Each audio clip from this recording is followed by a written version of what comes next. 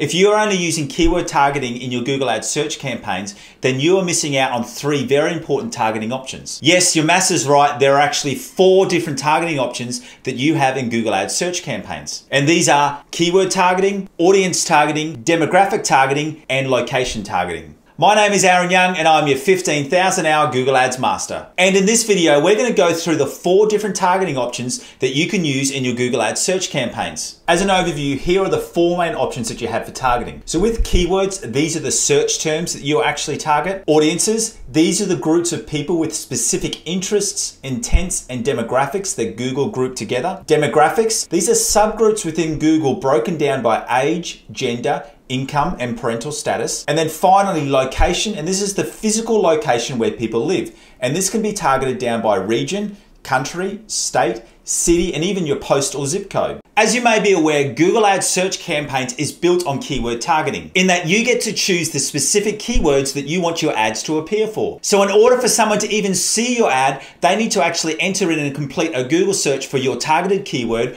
or it needs to be a search query that matches your targeted keyword. And this is where Google Ads has the biggest advantage over any other form of marketing. And that's because with Google Ads, you have already overcome the hardest issue, and that's finding people who are actually interested in your product. Google Ads is kind of like a reverse reverse door sales thing going on. Because rather than you trying to door knock on your potential client's door, with Google Ads, you have clients knocking on your door. But unfortunately, this is where most people actually leave their targeting with Google Ads. And it could be the reason for why you are not seeing the levels of success that you should be seeing in your Google Ads search campaigns. And that's because with Google Ads, we have those three further refinements that we can add so that we make sure that we're not only getting people knocking on our door, but we're actively stopping people from finding our ads who don't actually meet our core criteria. And this is where targeting by audiences demographics, and locations becomes so powerful. Because you as a marketer can actually stop certain people from seeing your ads if they do not match your core criteria. And why would you do that? It's simple so that you have more money and more ad spend budget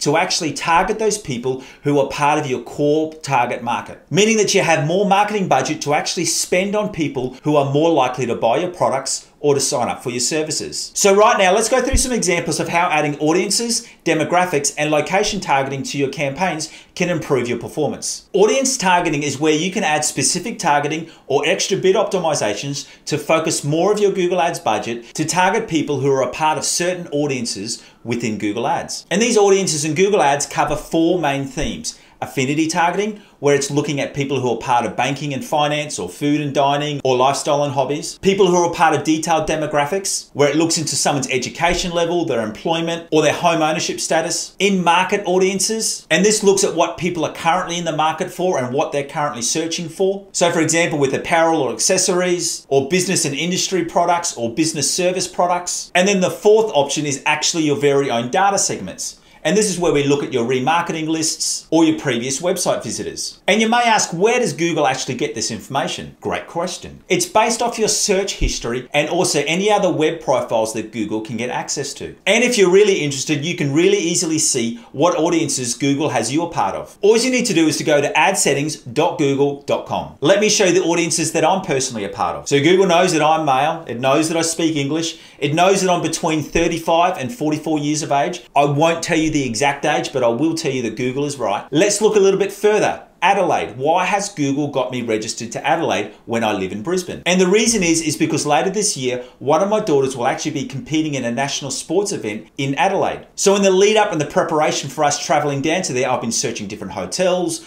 car rentals, and just general location about Adelaide. And because of that reason and because of those searches, Google has placed me within that audience of Adelaide. So hopefully now you can see the power of audiences. So for businesses like hotels or car rentals or cafes and restaurants that are based in Adelaide, I'm the perfect person that you should be advertising to right now. And the reason for that is because I have a high interest for those related services that are located in Adelaide. Whereas this time next year, I won't have the same level of interest because I have no plans to go to Adelaide next year. So the first way that you can further increase the performance of your campaign is to start adding targeting by audiences to your Google Ads search campaigns so that you can specifically target people that have a current high interest right now for your products or your services. Hey, before we get into the next two points of talking about demographics and location targeting, could you do me a huge favor and quickly like this video so we can spread the love across YouTube? And also, could you subscribe to my channel? This makes sure that I can continue to keep giving away these free teachings on Google Ads so how you can improve your business. Thank you so much.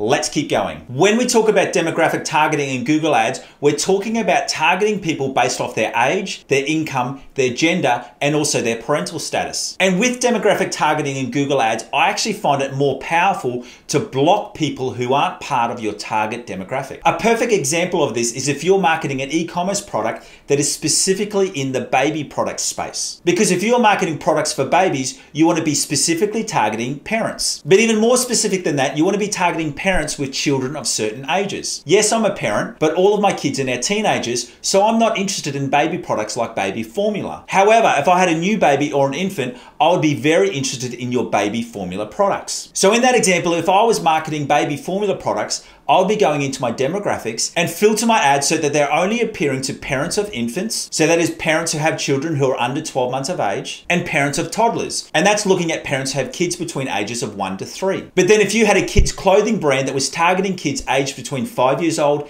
and 12 years old, you wouldn't be targeting those specific groups. You would go into Google and add specific targeting so that you're targeting parents of preschoolers and also targeting parents of grade schoolers. Because once again, you are then targeting the people who are going to be specifically looking for your type of product. Now, if you're not in the e-commerce space and you're actually offering business to business products, this is also a powerful tool that you can use as well. Because within detailed demographics, you can actually target people based on their industry or based on their employment status or even based on the size of the company that they work for. So if you're marketing your HR or ERP software, you can specifically target larger businesses who have enough employees to actually warrant having your product. So in this way, you're filtering out family-owned businesses or small businesses with only one or 10 employees who may not need your products. Once again, focusing more budget on the actual people who are more likely to buy your service. So with demographic targeting in Google Ads, what the goal here is that we want to actually block people who don't match our core target markets, which is allowing for more of our marketing budget to actually be spent on the people who are more likely to buy our products or sign up for our services. Now, finally, location targeting. Location targeting is something that is really important for businesses who offer a service